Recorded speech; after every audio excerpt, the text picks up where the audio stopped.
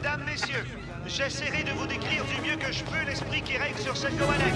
Le voilier américain suit de près le Blue Nose. Allez, tirez Angus n'aurait jamais dû accepter cette dernière course. La goélette est trop vieille. Allons-y Allez, allez, grouillez-vous C'est ça, on y va La triche du hunier Dépêche-toi, Marc Le Blue Nose semble être en difficulté. On dirait que quelque chose s'est détaché de là-haut. Je crois que la voile... Problème avec le grand hunier. Allez, ensemble Amarrez Y arriveront-ils? Oui, ils ont réussi Encore un petit effort, ma vieille. Ensuite, tu te reposeras. Il est toujours...